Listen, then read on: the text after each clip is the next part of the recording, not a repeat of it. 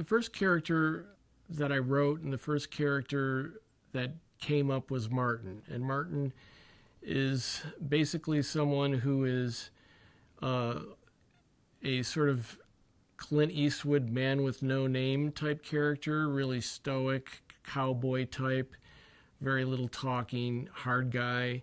Um, but he likes soft things. He's a hard guy that likes soft things. He's got this fetish for his laundry, and he uh, he does a lot of hand washables uh, in the midst of doing 5,000 sit-ups and 5,000 push-ups. Paul uh, presents himself to Martin when Martin is seven years old. He comes to visit him on the farm that he lives in with his extremely abusive mother.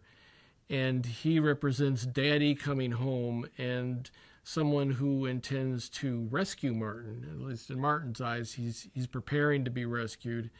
And he teaches him how to shoot rats at the dump and has a lot of fun doing that. And, and then he begins this he begins a, a, long process of trying to toughen Martin up, uh, inure him to any pain, whether it's emotional pain or physical pain, by basically sticking him with needles until he can no longer cry, no longer care about it, no longer feel. So he has this sort of torture training to some extent. It never gets, it never gets um, extreme in any sense as he's a child. It's really kind of just being able to to feel a sharp prick and, and, and not feel it anymore.